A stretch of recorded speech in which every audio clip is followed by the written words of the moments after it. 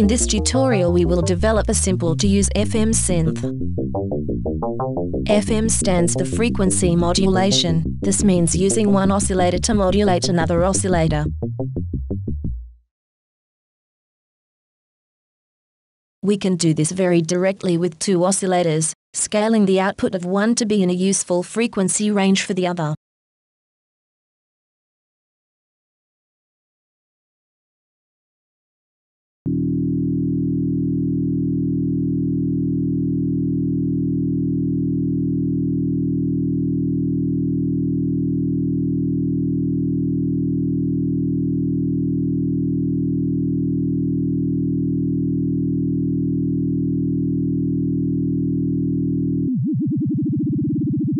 We can get lots of fun sounds this way.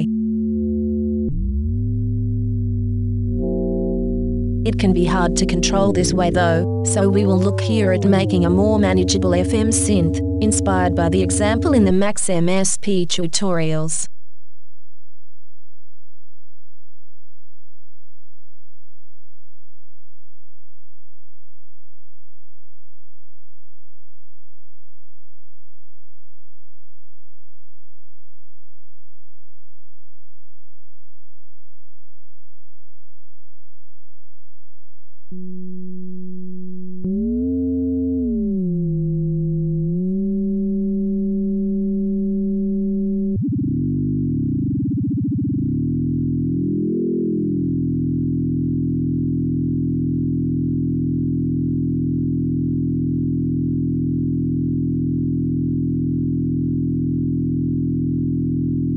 We will be introducing two new parameters, harmonicity and modulation index.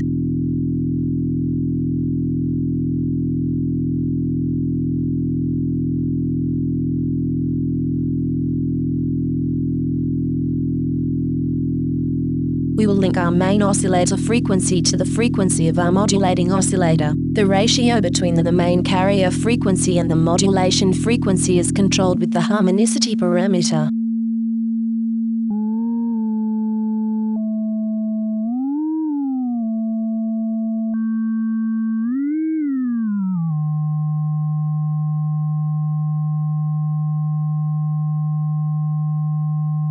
The modulation index links the scaling of the modulating oscillator to the frequency of the modulating oscillator. Try out these parameters to see how they affect the sound.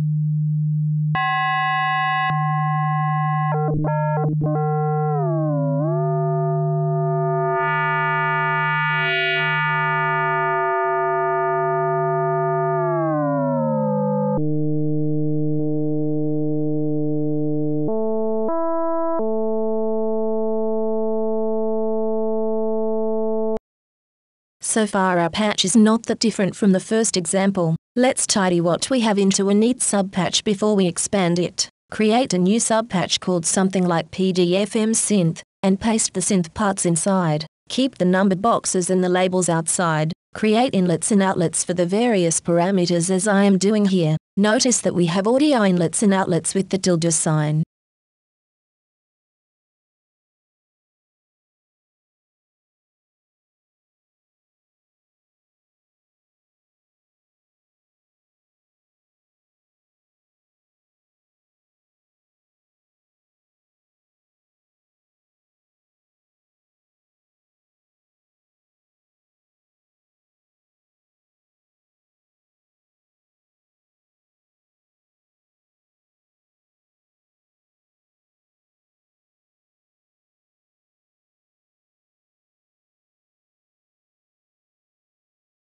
We can test the subpatch quickly.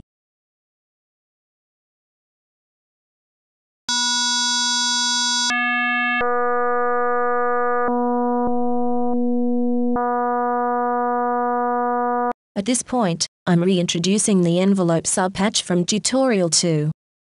You can go back to the tutorial for the explanation or you can pause the video here and build it for yourself quickly.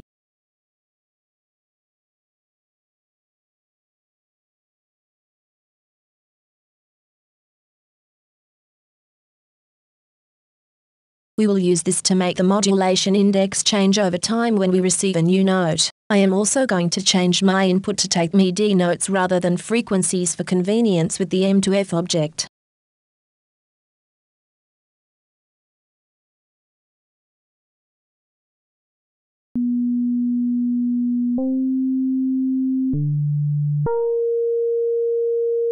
We can add a second envelope to control the actual volume to and make sure both envelopes are triggered every time we receive a new note.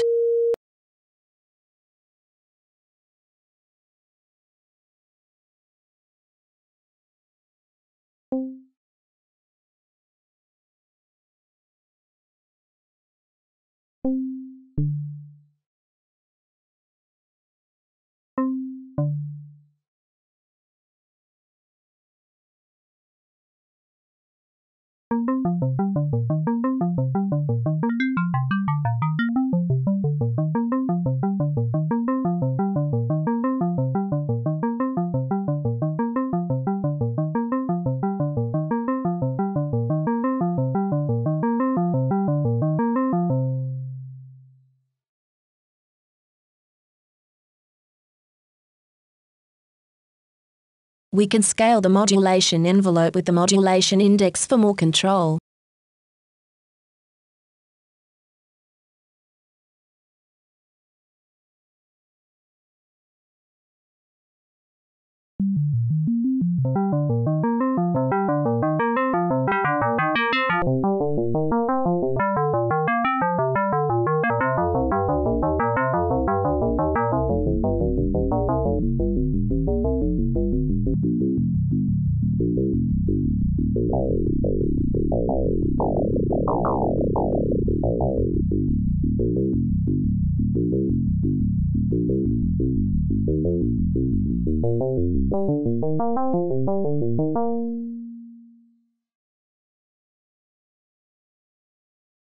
Finally, we can tidy this up to make a neat sub-patch again.